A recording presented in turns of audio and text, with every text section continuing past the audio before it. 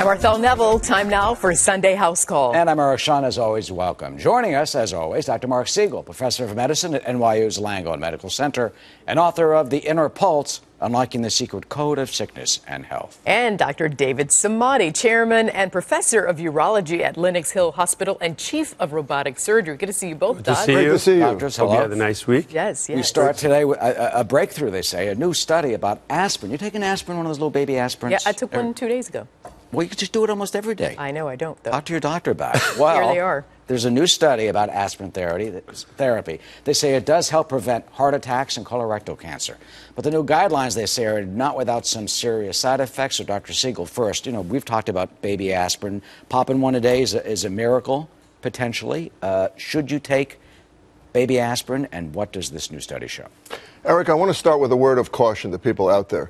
Aspirin is an over the counter medication. So, no matter what we say, no matter what David and I say today, ask your doctor, an internist, a cardiologist, or a neurologist if you're worried about a stroke, should you be on an aspirin or not? Because nobody should be on an aspirin without their physician knowing about it. Now, we're talking about 81 milligrams here, by the way. That's the preventive dose, because anything higher than 81 milligrams already increases your risk of bleed. And we're worried about bleeds, Eric. One out of a thousand bleeds per year for people on aspirin. So before anybody recommends aspirin, they got to take that into account. GI bleeds, bleeds into the brain, these things happen. 'Cause it's a blood You know, thinner, right? The blood, right. Yeah. It's a platelet drug. Now, why Well, how do you we- know if you got that? why you you got that because you see blood in your stool, or, or, or or you start feeling poorly. You could have a stroke from a bleed. Wow. You could have blood in your mouth. I don't want to scare people, but I want to caution them. You did already. Yeah. So then what I've- about this- I've scared people, but, I- but I want to tell you. I got to tell you the good side, though. I got to tell you the good side. The United States Preventative Service Task Force is adding their voice to the American Heart Association and the American um, and the American Stroke Association, both who say if your risk of stroke or heart attack over 10 years is about 10 percent, a baby aspirin a day from the ages of 50 to 69, very, very, very, very helpful. And I use it in those areas. Plus, the risk of colon cancer goes down by about 40% a year because it's an anti-inflammatory. Dr. Samadi, you're, kind you're shaking your head. Okay, I think this is a big news. So whenever U.S. task force make a big recommendation, it's for, important for people to pay uh, attention to this because now they're talking about public. But everyone's risk is different when it comes to colon cancer. Everyone's risk of bleeding is very different. So you have to pay attention to what's going on. They basically look at thousands of people in the clinical trial. And if you're between the age of 50 to 59, these are the group that if they have 10% risk of heart attack and they're planning to be around for the next 10 years. And if you take aspirin for a long period, over 6 to 10 years, you may have lower risk of getting colon cancer.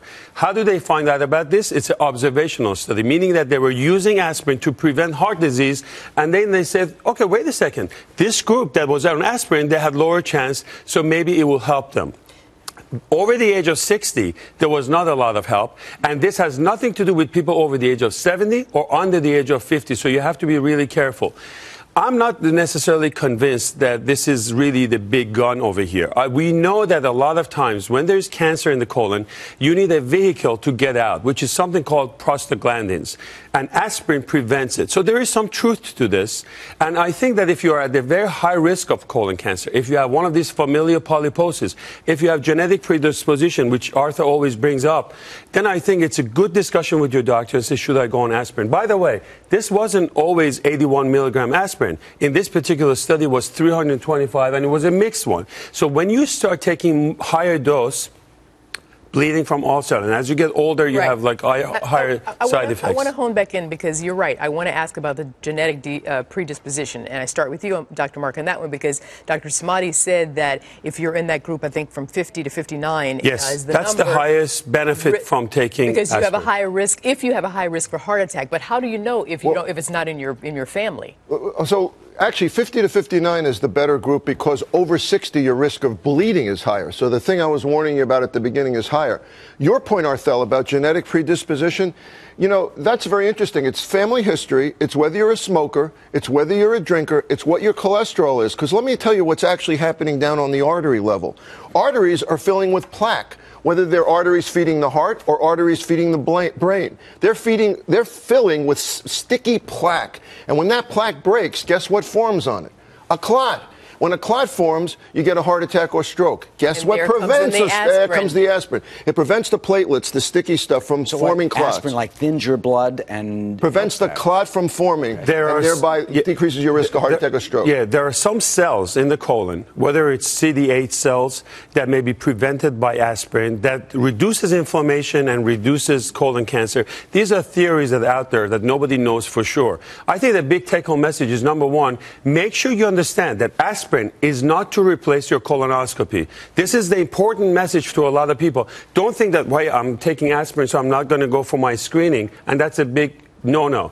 Have a discussion with your doctor, and I think U.S. Task Force is looking at the big public, but that's 90% of colon cancer, which, by the way, is the third leading cause of death. 50,000 incidents a year happens over the age of 50, Yeah. and that's when we think that aspirin may help. But Personally, I don't know if you take aspirin or not. Well, I take it because my, I have a family history of heart disease There you and go. because I have high cholesterol. Oh, that's a good But, point. that- but, but, uh, but I want to ma- uh, emphasize something that David is saying here, which is it's the first time any guidelines has done this for the point of view of colon cancer. That's Yeah. pretty You just- exciting. you but hit not on instead you of a said something more important, Dr. Marc. Family that- history. Exactly. That's, My father died of colon cancer. He took Right. Aspirin. You have family history, heart uh, disease. Right. So, but bottom line, you should tell people talk to your doctor. But I think aspirin's a miracle. 81 milligram, not 80 the higher 81 dose. milligrams, and if you have it in your family, absolutely, and you have other risk factors. And- But also, and Dr. a- Marc says make sure you check with your doctor because it's blood thinner. It could counteract other medications you might be on. Go get a colonoscopy, please. But long-term effect and side effects of aspirin is also not to be ignored. Okay. Liver toxicity, Absolutely. bleeding, etc., is important. So don't just take it casually. Thanks, docs.